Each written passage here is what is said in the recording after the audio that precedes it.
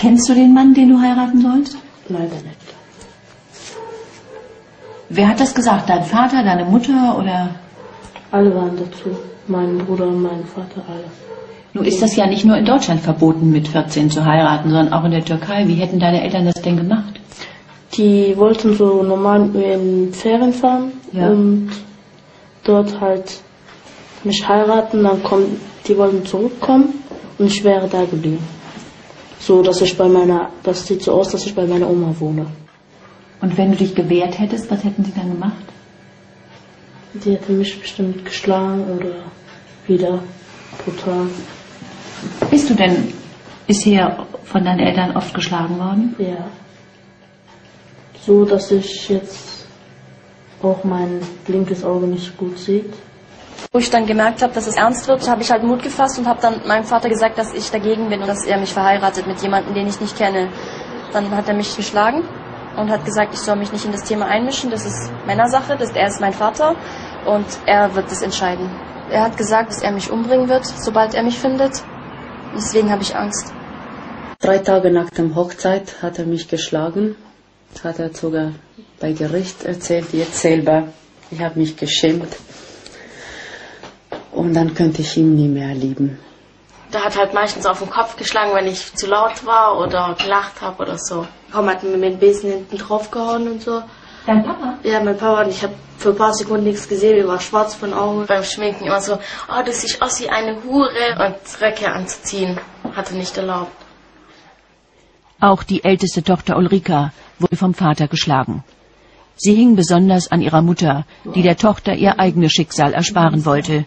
Wenigstens Ulrika sollte sich ihren Mann selbst aussuchen dürfen. Und Ulrikas Mann hat er vorgestellt, der muss aus Kosovo. Reiner Albaner sowieso. Und dann hat er noch einmal die Ulrika in August geschlagen. Ich war in der Arbeit, rufen meine Kinder an, Polizei sind da und sie blutet. Eine Polizistin, sie hat gesagt, wenn er noch einmal macht, der geht in den Knast, ein paar Monate, dann wird abgeschoben, Also wenn er noch einmal schlägt. schlägt.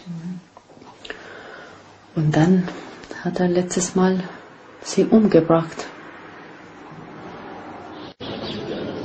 Der Vater Latif Zenner verbüßt seine Tat in Stuttgart-Stammheim, verurteilt zu lebenslänglich wegen Mordes.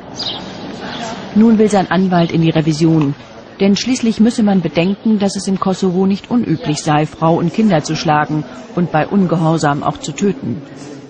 Er trifft sich mit seinem Mandanten, um das weitere Vorgehen zu besprechen. Mit uns will Latif Zenner nicht reden, schon gar nicht vor der Kamera. Aber seinem Anwalt hat er Auskunftsrecht erteilt. Die höchstrichterliche Rechtsprechung hat entschieden, dass auch der Kulturkreis bei der Bewertung der Mordmerkmale eine Rolle spielt. Das muss also vom Gericht geprüft werden. Und das Ziel der Revision ist, nochmal das Augenmerk auf diesen Punkt zu lenken, wurde im ausreichenden Maße der kulturelle Hintergrund beleuchtet und wurde auch bei der Entscheidungsfindung ausreichend mit berücksichtigt. Aber muss man nicht sagen, wenn jemand herkommt, hier lebt, dann gelten die Rechtsnormen der Bundesrepublik Deutschland. Kultureller Hintergrund hin oder her. Wie gesagt, ähm, äh, der Angeklagte hat hier in Deutschland gelebt, er hat die Lebensweise verstanden, bloß das ist möglicherweise zurückgeblieben. Zum Beispiel ein Satz während der Verhandlung, ja, ich, bei uns hätte man das dürfen, also bei uns zu Hause im Kosovo hätte man das dürfen, also das Schlagen, das Züchtigen der Frau und der Kinder. Wie alt waren Sie, als Sie den geheiratet haben? Evlendiğinizde kaç yaşındaydınız? 14 yaşındaydım. 14 Jahre alt. 14? Durften Sie ihn selber aussuchen oder haben die Eltern gesagt, das ist der Mann, den du heiraten sollst? Siz kendiniz mi seçtiniz eşinizi yoksa anne babanız mı dedi evleneceğin kişiyi gösterdi? Annemle babam gösterdi. Mutter und Vater haben gesagt, das ist der Mann, den du heiraten willst. Sind Sie in der Türkei in die Schule gegangen? Hiç orada gitmedim. Ich war nie in der Schule. Sie können nicht lesen und nicht schreiben? Nein. Mensch, das ist ja bitter. Das ist ja bitter. Haben Sie hier äh, Kontakt zu Deutschen? Burada Almanlarla kontağa girebiliyor musunuz? Yok. Almancım olmadığı için. Nein, weil sie kein, kein Deutsch kann. Was hatten Sie für einen Traum vom Leben? Was wollten Sie gerne erreichen? Ich hätte gern einen Beruf gelernt. Am liebsten wäre ich Lehrerin geworden. Bei uns im Dorf ist es so, also in der Türkei, dass auch jeder äh, Zwangsheirat hat. Also sie können keinen finden, die sich geliebt haben und geheiratet haben.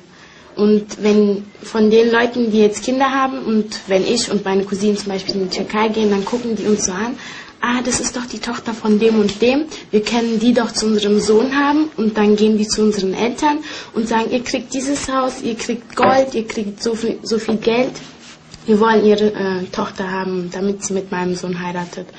Auf der Drehreise lernen wir immer wieder das Gesetz der Immigranten kennen.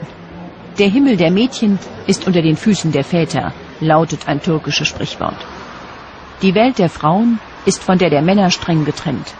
Gerüchte über Frauen, die angeblich die Familienehre verletzen, können hier tödlich sein. Diese Straßen liegen in Deutschland, aber sie könnten auch in der Türkei, Albanien oder Kurdistan liegen. Haben Ihre Schwestern den Mann selber ausgesucht oder hat Ihr Vater den Also Mann? äh, 60 Prozent hat der Vater mitbestimmt. Ja? Also die haben auch Ja gesagt, sage ich mal, aber der Vater hat den ausgesucht. Das entscheiden die Mädels selbst und Ja. ich bestimme. Darf deine Schwester einen deutschen Freund haben? Äh, nein, Warum nicht? keine Ahnung. Ist so gemacht. Hätte sie auch einen Deutschen heiraten dürfen? Nee, das nicht. Warum das nicht? hätte sie selber auch nicht gemacht. Warum weil wir nicht? so erzogen wurden. Wenn wir jetzt zum Beispiel einen äh, jungen Mann oder so mit unserer Schwester sehen, er darf das, nicht. Der Vater muss immer dabei sein oder Erlaubnis geben. Und dann, wenn wir sie erwischen in der Stadt oder so, dann gibt's Ärger. Dann kriegt der Deutsche aufs Maul von uns Türken. Dann kriegt der Deutsche aufs Maul von uns Türken. Warum denn? Ist doch nicht so schlimm. Dann gehört sie nicht mehr zur Familie. Ja, sie wird dann äh, von uns Familie, sie wird äh, Ärger bekommen. Was heißt Ärger? Sie wird ganz äh, von eh allen missachtet. Wem. dann ist die Familienehre weg, wenn sie Ja, dann ist diese ganze Familie.